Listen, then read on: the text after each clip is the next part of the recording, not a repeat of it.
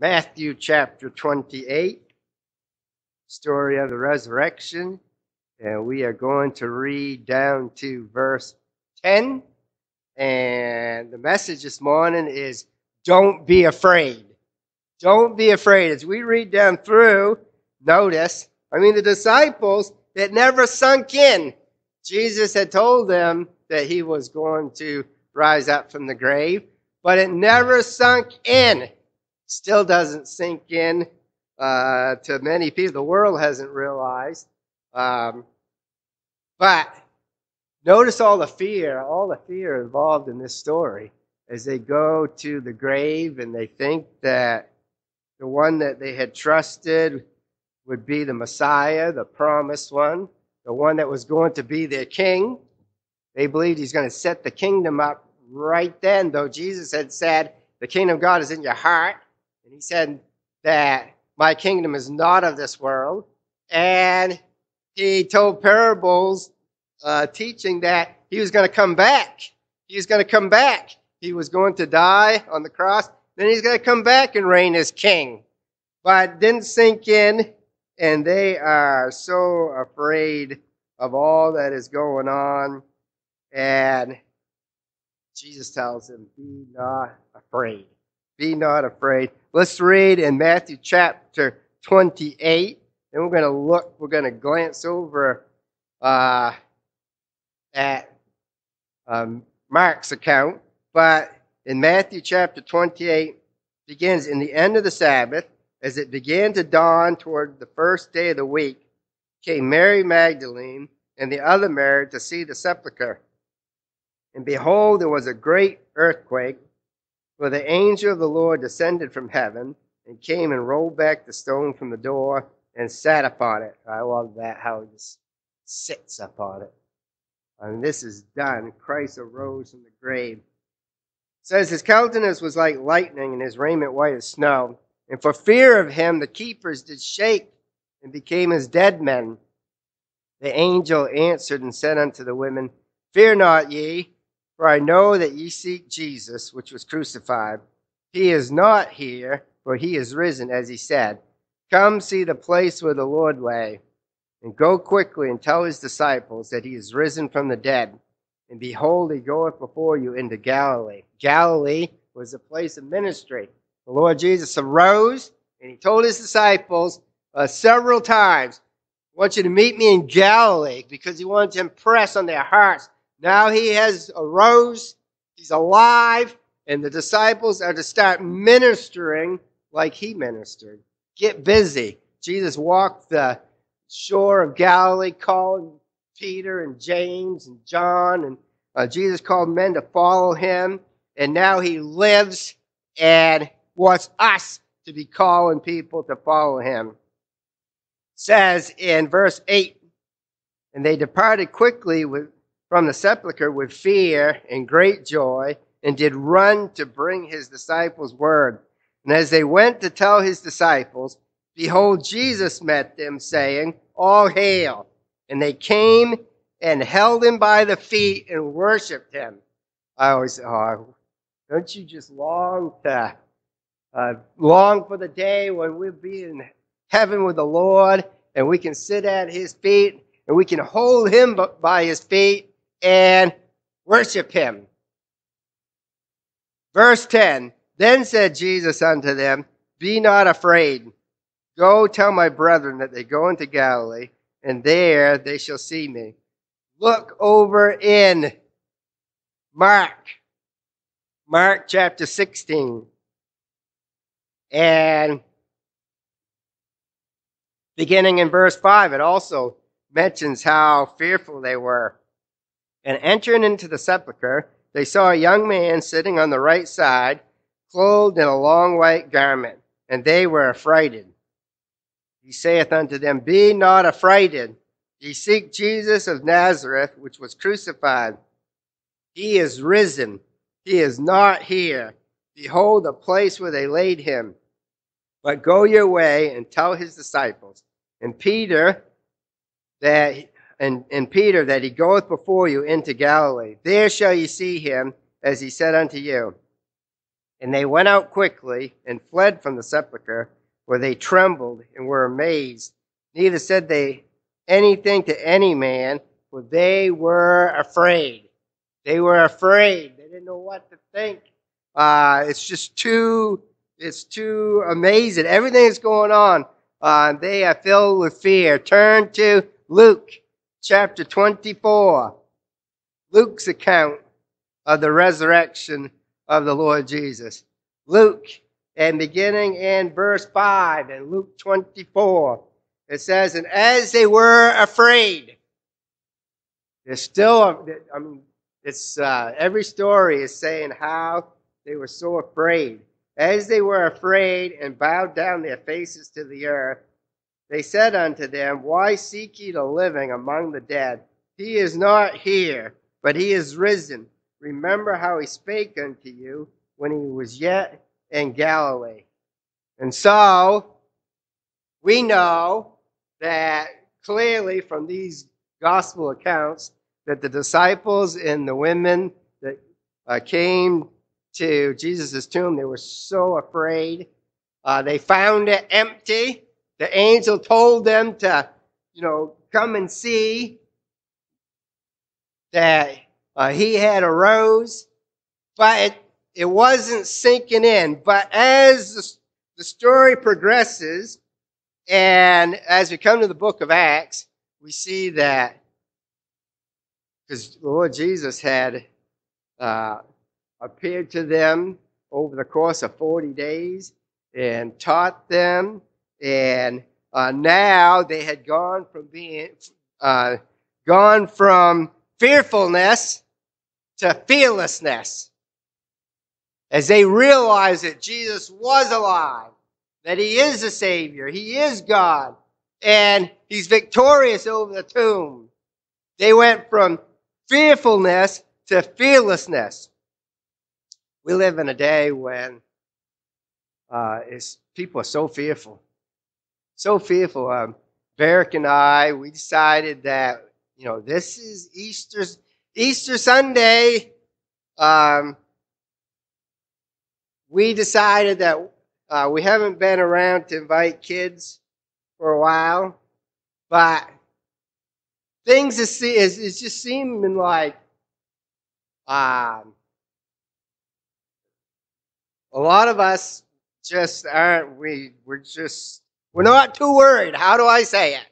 We're not too worried about coronavirus. Uh, it's been over a year. I know that when it first started out it was pretty scary. And then there were some ups and downs, but we thought it might be to the point where we could encourage some kids to come out. We miss so much running the bus. Uh, so we went out a few places yesterday. Um, and, you know, people are still afraid they're still very fearful. And people are, it makes me think uh, Hebrews chapter, turn to Hebrews chapter 2. Hebrews chapter 2.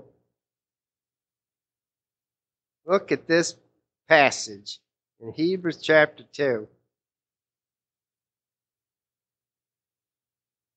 Talking about the Lord Jesus coming for us.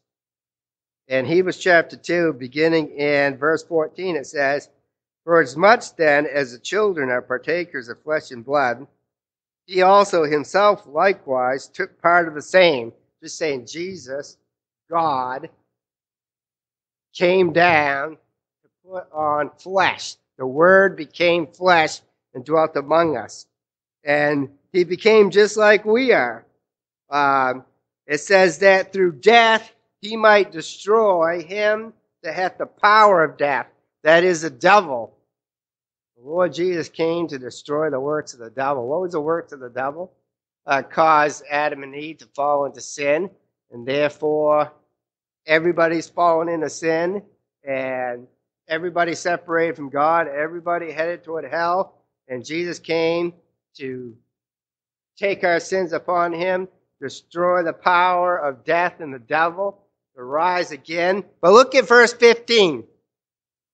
It says, And to deliver them who through fear of death were all their lifetime subject to bondage. People that fear death all their lifetime. This death just hangs over them. Uh, they're so afraid. I've mentioned, uh, uh, as an illustration before, I've mentioned Andy Rooney.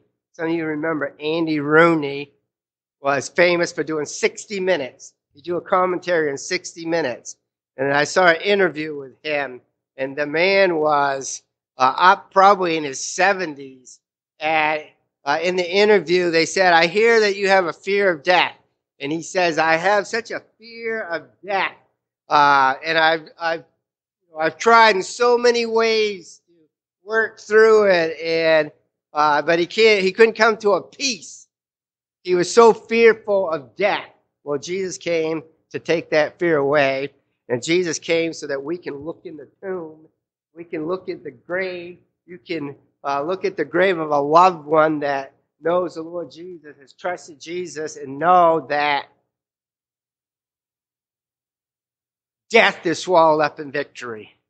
Death is swallowed up in victory. You don't have to live in fear. Uh, Psalm 23 tells us, Though I walk through the valley of the shadow of death. That's what life is. It is the valley of the shadow of death. You never know when it's coming. You never know what, uh, you know, what's going to happen. You don't know when the day might be, but the psalmist says, Though I walk through the valley of the shadow of death, I fear no evil, for thou art with me. If you know the Lord is your Savior, don't be afraid. Don't be afraid. And as we that know the Lord uh, walk with Him every day and, and come in contact with people that don't know the Lord, uh, we can tell them about the Lord Jesus and tell them that in Jesus, they receive the Lord Jesus, there's nothing to fear. There's nothing to fear. But we live in such a day where people are so afraid. I like 2 Timothy chapter 1. 2 Timothy chapter 1. And verse 7 says, for God hath not given us the spirit of fear. God hasn't given us the spirit of fear, but of power and of love and of sound mind. How is that? How has God given us uh, such a mind, a spirit of power, and love, and a sound mind? How does the Lord take fear away? Well, down in verse 10, it says, But now is made manifest by the appearing of our Savior, Jesus Christ, who hath abolished death. I like the way God puts that. He's abolished death and hath brought life and immortality to light through the gospel. Jesus has abolished death. We, I said, uh, we went out visiting. I had actually, we didn't visit some places because I ran into one parent uh, a couple months ago now and talking to him, and he was saying, I don't even let my kids go to school. I'm afraid they're going to go to school and get coronavirus, and they'll come home, and I'll get it, and I'll die. And uh, yesterday we drove in. We drove into uh, someone's driveway, and before before we was even getting out of the car, the, the mother was, uh, uh, she was just getting us out of her car. She's sitting in the yard there. I could see in her eyes, like, she's not going to let her son come. There's no way. And we got out of the car, and before she even said hi, she said, he's not going to come for a while. He's not going to come for a while. Uh, people are so afraid. Well, fear, you know, fear is not trusting God. Fear is not trusting God. That's what it all boils down to. And it is, it is only God who can deliver us from our fears. When Jesus was born, the Christmas story, when Jesus was born, the angel said unto the shepherds, Fear not, for I bring you good tidings of great joy, which shall be to all people. For unto you is born this day in the city of David a Savior, which is Christ the Lord. Fear not. When Jesus arose from the grave, it's the same message as the angels once again said, Fear not. And then Jesus comes and says, Be not afraid. Be not afraid. We trust in the Almighty, all powerful, all knowing, eternal, unchanging God who is victorious over death in the grave. What have we to fear? We have nothing to fear but God Himself. There's two kinds of fear. Two kinds of fear. There's the right kind of fear, where the Bible says the fear of the Lord is the beginning of wisdom. There's that kind of fear, the right kind of fear that honors God and it draws us to God. Then there's the wrong kind of fear that dishonors God, doesn't obey God, and that kind of fear draws away from God, draws people away from God. Uh, well, we want the right, we want the right kind of fear, and we want to, we want to just hate the wrong kind of fear. We just want to fear God and be fearless in every other area. Fearless. Are you are you a fearless Christian? Are you courageous? Are you bold? Uh, do you realize that uh, in Jesus? What do you got to fear? Want to just mention three uh, three areas here. Don't be afraid three areas from our story this morning of the resurrection of the Lord Jesus. Uh, don't be afraid. Number one, don't be afraid of believing in Jesus. The disciples, well, the women first, they came to the tomb.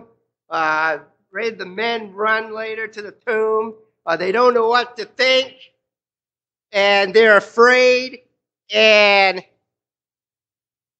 then the Lord appears to them and teaches them and appears to them and eats with them and appears to them and just keeps teaching them over the course of 40 days before he ascends up to heaven.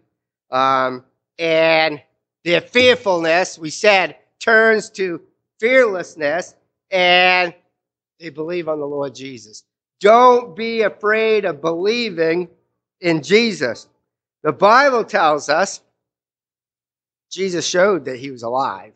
He showed, he proved. Turn to Acts chapter 1. Got to see this first. Acts chapter 1.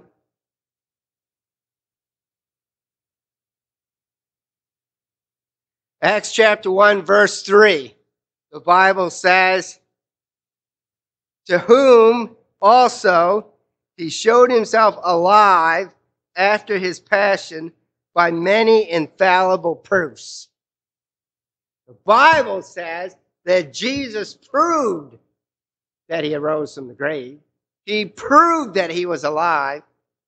You know, you'll read uh, the, you know, they'll call people, they'll say they're scholars or they're uh, archaeologists or uh, they're biblical historians, whatever they'll say they are and they'll say, you know, we really don't know all the facts. We don't know all the, uh, we don't know everything about uh, Jesus. We don't know about, you know, they'll say whether we really arose from the grave. Ah, yes, we do.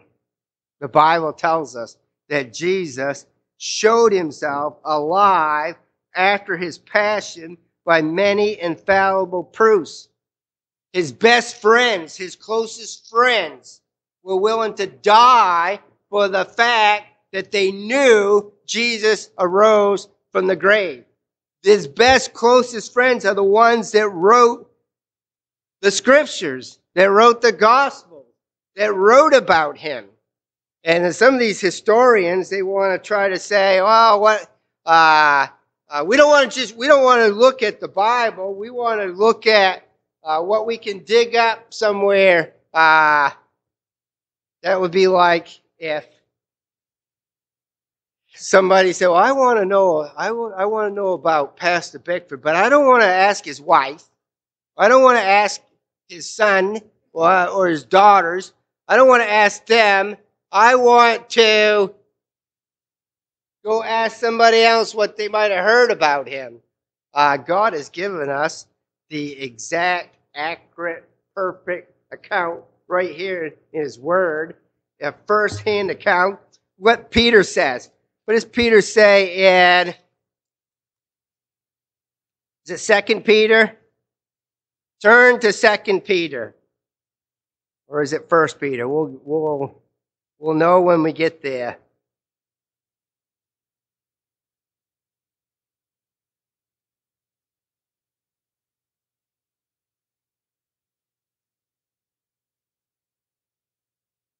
It is second Peter. Second Peter and chapter 1 and verse 16. I like here also, we ought, we ought to read what Paul, uh, what Peter is saying here. Uh, Peter was fearless about death. He wasn't worried about death. He said, in verse 14, Peter says, knowing that shortly I must put off this my tabernacle. That is a tent. Peter looked at death just like, okay, I live in this tent. My body's like a tent. And won't be long, I'm going to fold this tent up and move on to heaven. And he wasn't worried because he knew that his faith was in the Lord Jesus and he's just going on to glory. And so Peter says, knowing that shortly I must put off this my tabernacle, even as our Lord Jesus Christ has showed me. Moreover, I will endeavor that ye may be able, after my decease, to have these things always in remembrance. Peter's saying that while I live, I'm going to do everything I can to teach you so that when I'm gone, you'll remember the things about Jesus. You will remember. And then Peter says in verse 16, For we have not followed cunningly devised fables when we made known unto you the power and coming of our Lord Jesus Christ but were eyewitnesses of his majesty. Peter said, We saw these things with our very own eyes. We know, we know that Jesus arose from the grave. We know that he's alive. John said the same thing, and uh, turn over a few pages to uh, 1 John chapter 1. John starts out his epistle, and he says, That which was from the beginning, which we have heard, which we have seen with our eyes, which we have looked upon and our hands have handled of the word of life. John said, We saw that Jesus was alive. We handled him. Uh, Thomas, uh, Jesus told Thomas to put your fingers in the print of the nails and thrust your hand into my side. Uh, they knew that Jesus was alive. It says, For the life was manifested, and we have seen it and bear witness and show unto you that eternal life which was with the Father and was manifested unto us. Don't be afraid of believing in Jesus. Don't be afraid. The disciples, at first, they were afraid, but then they knew, they knew for sure that Jesus arose from the grave. Jesus proved it. Jesus also offered the resurrection as a proof that he was God. Turn to Matthew Turn to Matthew chapter 12. All through the Gospels, and we'll just take Matthew uh, as an example this morning.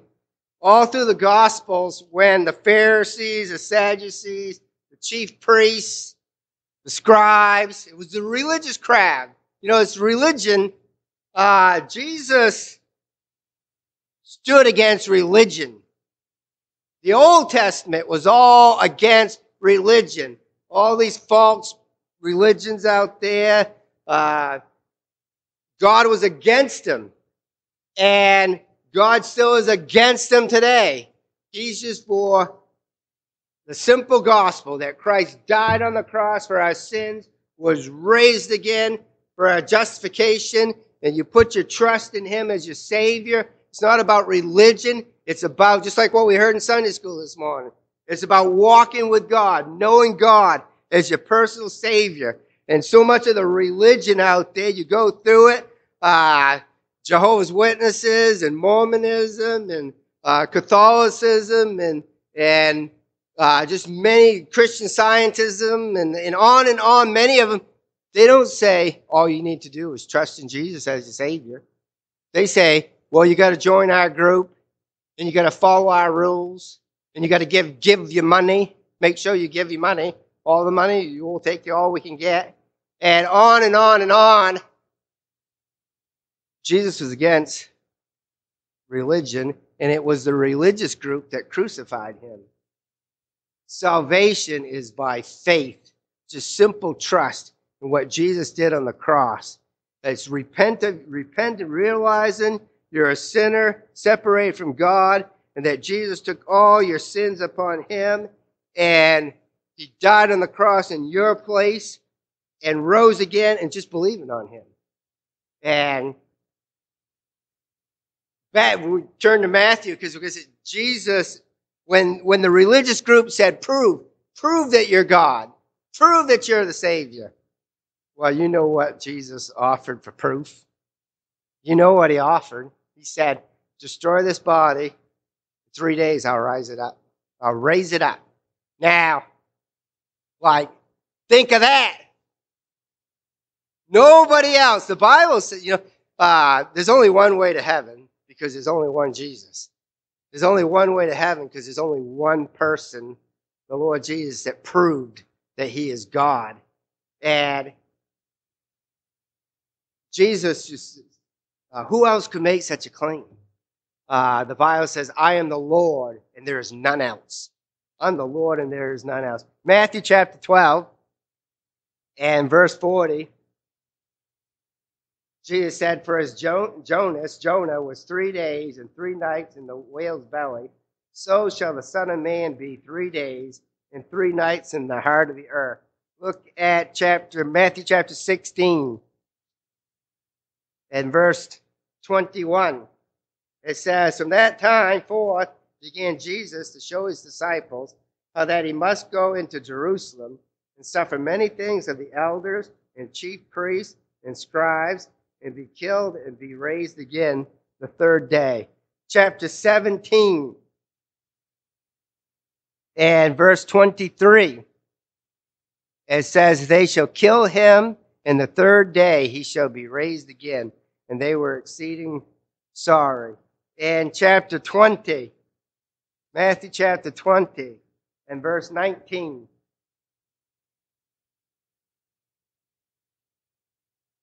Well, you begin in verse uh, verse 18. Jesus said, Behold, we go to Jerusalem. The Son of Man shall be, betray, be betrayed unto the chief priests and unto the scribes, and they shall condemn him to death, shall deliver him to the Gentiles to mock and to scourge and to crucify, and the third day he shall rise again. Chapter 27. Chapter 27 and verse 40. even as Jesus hung on, hung on the cross,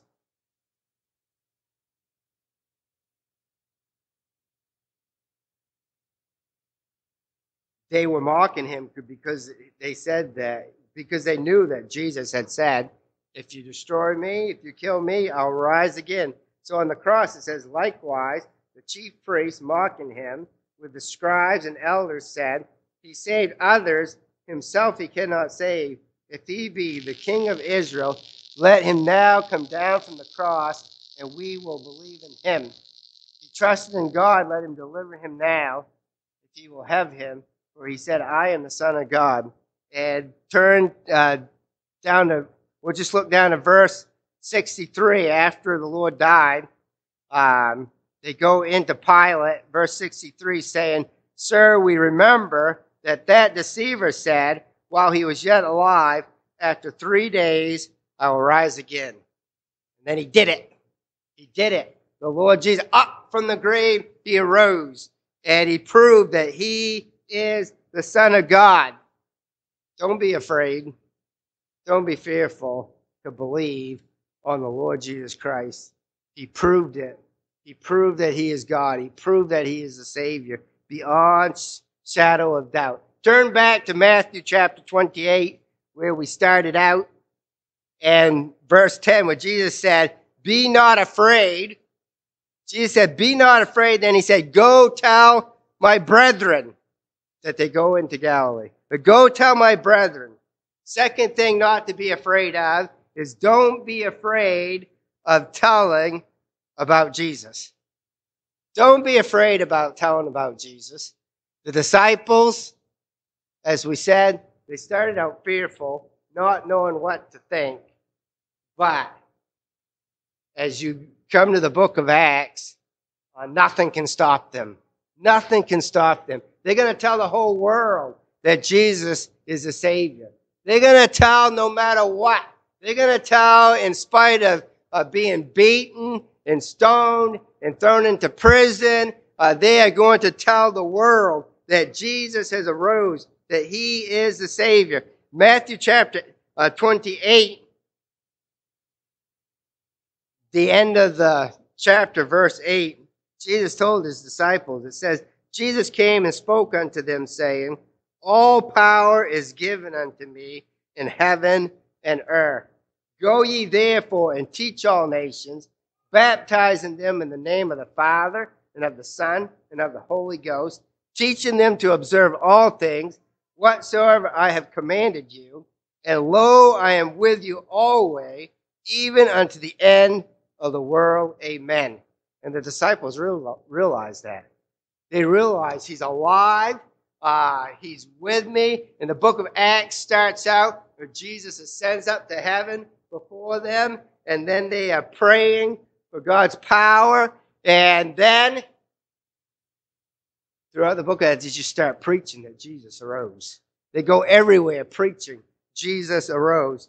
And just to look at a sample of what they were preaching, turn to Acts chapter 3. Acts chapter 3 and 4. It goes all through the book of Acts. They are preaching that Jesus lives and Jesus saves. Uh, Acts chapter 3, they were going into the temple, and there was a certain lame man uh, that was laid at the gate called Beautiful. And uh, Peter and John, they, through the power of the Lord Jesus, they healed, they healed that man. And in Acts chapter 3, um, when everyone, when the people, peep, the people see that this man was healed.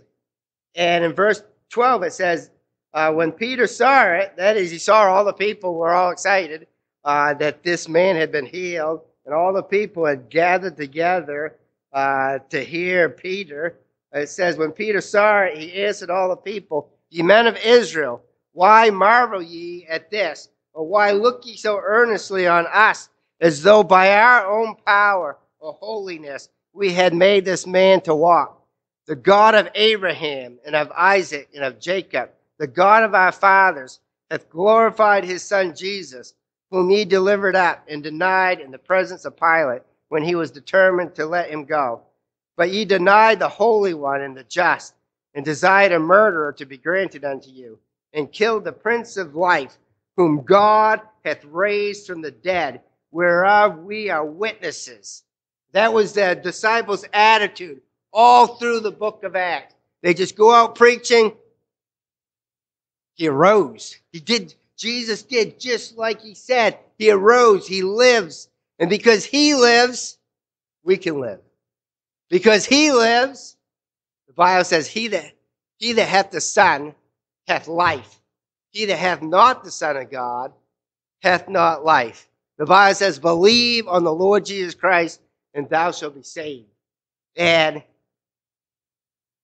they just went out preaching that he had he had arose in the grave. So when you get to chapter four,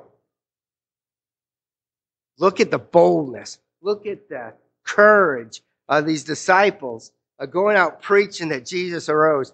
Uh, Acts chapter 4 says, And they spake unto the people, the priests and the captain of the temple and the Sadducees. These these religious leaders. They should be the leaders. The religious leaders, they should be the leaders. Jesus said it was the blind leading the blind about the religious leaders of his day. It was the blind leading the blind. And so you've got these uh, seemingly ignorant and unlearned men, but they had learned at the feet of Jesus.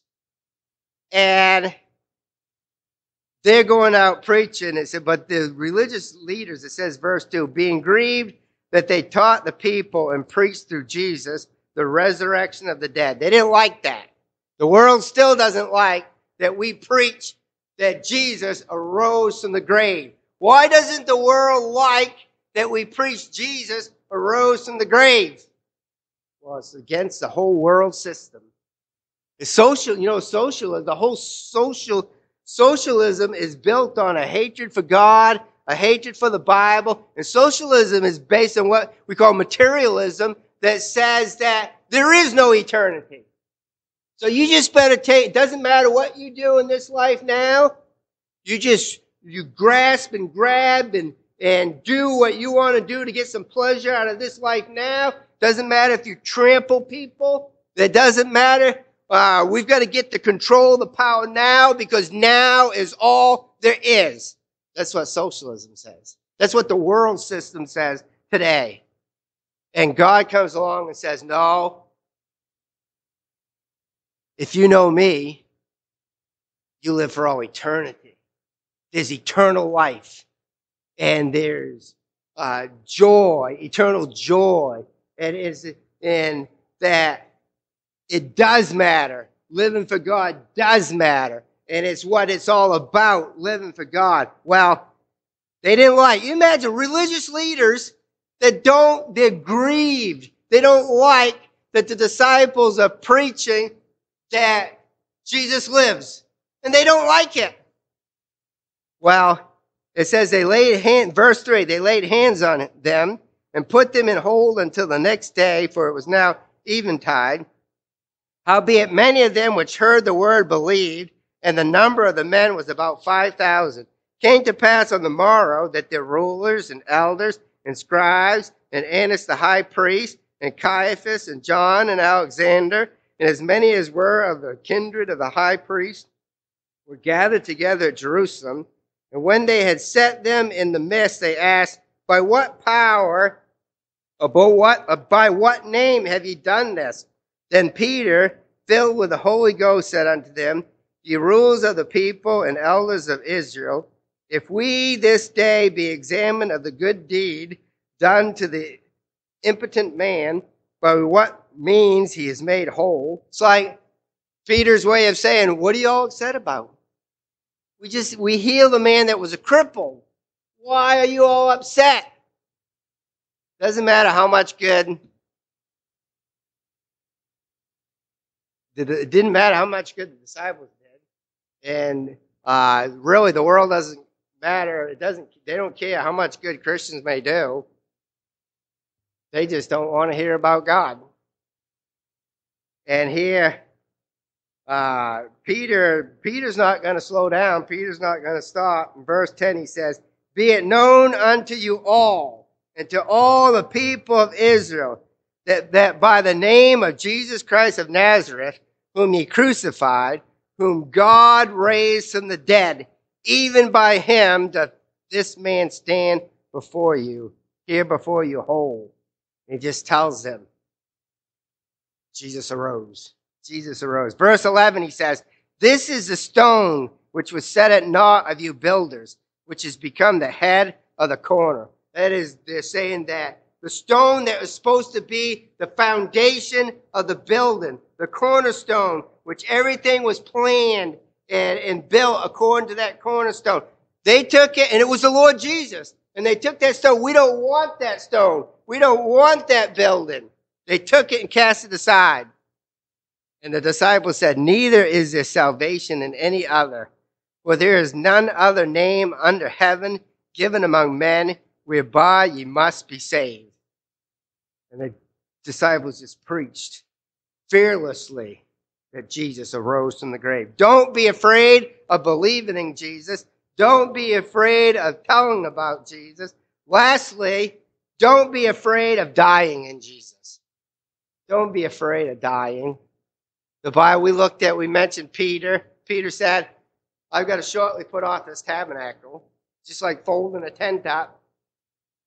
We're in the Lord's hands. If you know the Lord Jesus as your Savior, uh, death is just going home to be with God. Uh, look what Paul said in Philippians. Look at Philippians chapter 1. Philippians chapter 1, Paul says, and verse 21, beginning in verse 21, Paul says, For for me to die is Christ, and to die is gain. To die is gain. Do you know Jesus as your Savior? When you do die, it's just gain, going to heaven. He says in verse 23, he says, For I am in a strait between two, having a desire to depart and to be with Christ, which is far better. The life that is to come is far better. But, Paul says, verse 24, nevertheless, to abide in the flesh is more needful for you. A, few, a couple years ago, um, Gary and Dorcas were here, uh, Stevens, and Gary just found out he had cancer. They didn't know what. They didn't know what was going to happen. And Gary was saying, Well, I'm ready. I'll just go home to heaven. It's fine with me. And Dorcas was like, But I need you here. I want you. You know, I was saying to Gary, you, Apostle Paul even said, It's more needful for me to abide. Uh, you, want, you want your loved ones to stick around as long as they can. Uh, we need our loved ones, we need one another, but the fact still is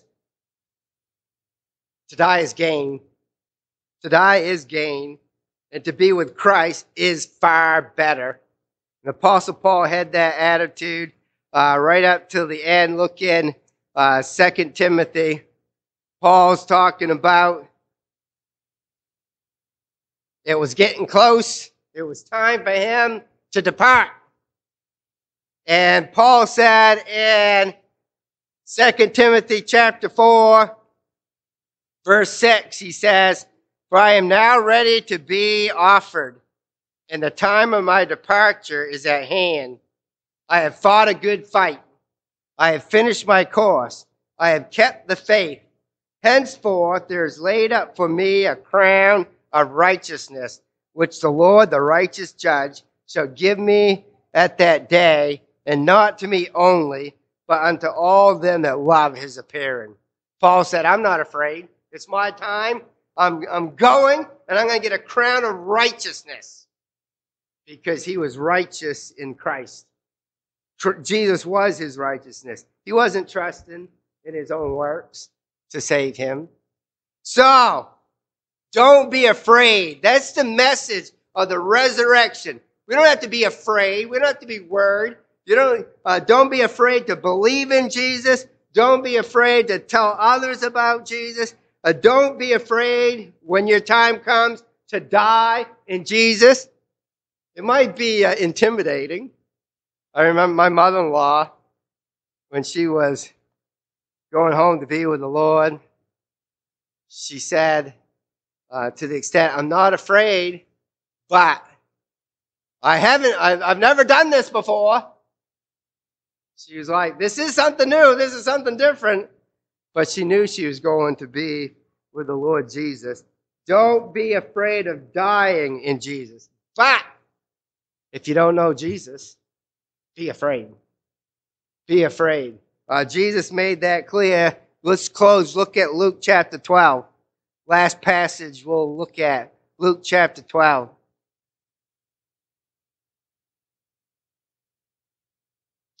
Luke chapter 12, beginning in verse 4. Jesus said, And I say unto you, my friends, we had a uh, good message in Sunday school Barrett gave about Jesus. The Bible tells us Jesus is a friend of sinners. Jesus loves us. Jesus loves soul, souls.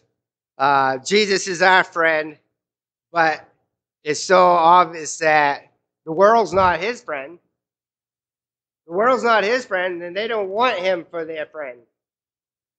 Um, but Jesus said unto you, it says, I say unto you, my friends, be not afraid of them that kill the body, and after that have no more that they can do. But I will forewarn you whom ye shall fear. Fear him which after he hath killed hath power to cast into hell. Yea, I say unto you, fear him. Fear him. Are not five sparrows sold for two farthings, and not one of them is forgotten before God? But even the very hairs of your head are all numbered. Fear not, therefore, ye are more value than many sparrows. Also I say unto you, whosoever shall confess me before men, him shall the Son of Man also confess before the angels of heaven. But he that denieth me before men shall be denied before the angels of God. We've got nothing to fear if we know the Lord Jesus as Savior. But if we don't know the Lord Jesus as Savior, we should fear death and hell because without Him, there's no hope. And I hope that each one of you here has received the Lord Jesus as your Savior. And if you haven't, I'd love to talk to you. Um, or if you have any Bible questions or anything, I can. I don't have all the answers, but I can look in the Bible because the Bible has all the answers. And um, God is so good; He He helps us along the way. But we can be fearless. Let's pray.